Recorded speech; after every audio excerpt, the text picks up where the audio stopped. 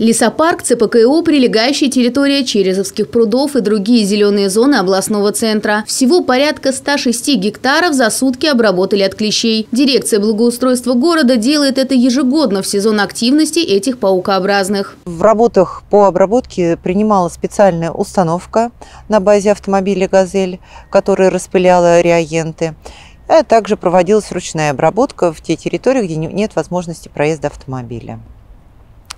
А, а препарат, который использовался при обработке, полностью безопасен, и через сутки уже все жители нашего города вместе с животными могут посещать парки. Клещи проснулись от спячки в нашем регионе уже в конце марта. Тогда же в медучреждение с укусом этого паукообразного и обратился первый пациент. Случаев становится больше с приходом тепла и пробуждением природы, особенно в майское время, когда популярность отдыха на природе набирает обороты. В отличие от городских парков и скверов, загородные зеленые зоны не так безопасны. Да и придворовые лужайки тоже нередко служат домом для клещей. Специалисты рекомендуют использовать репелленты и осматривать одежду после каждой каждой прогулки. При этом стоит помнить, что кровососущая паукообразная передает заболевания, после которых могут быть осложнения. На территории Рязанской области э, клещи переносят э, болезнь, которая называется болезнь Лайма, в общем-то, и вызывают эксодовый клещевой бролиоз. Последствия и осложнения, которые вызывает это заболевание, их достаточно много, вот, и в целом они достаточно серьезные и, в общем-то, могут сильно сказаться на здоровье человека,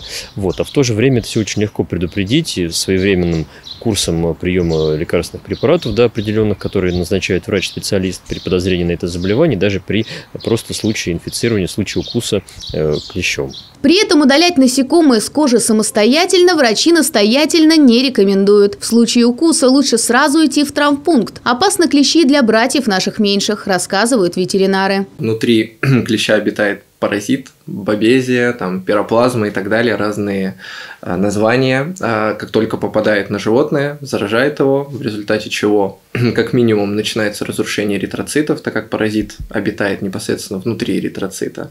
И в дальнейшем уже, если владельцы чуть-чуть упустили этот момент. Частенько бывает такое, что они, ну вот она что-то не ест, а понаблюдаем, что-то съела не то, и потом в дальнейшем заболевание достаточно активно развивается, и можем столкнуться с такими проблемами, как там какая-то почечная, там, печеночная недостаточность из-за того, что это крупные фильтры организма. Для того, чтобы обезопасить домашних животных от клещей на прогулке, существует сразу несколько способов. Ошейники, капли, спреи и таблетки. Самые эффективные из них последние, рассказывают специалисты. После того, как питомец проглотил таблетку, она растворяется и действующие вещества начинают поступать в кровь животного. Так, при укусе клещ погибает и не успевает заразить питомца. Кристина Бочкарева, Михаил Лазуткин, телекомпания «Город».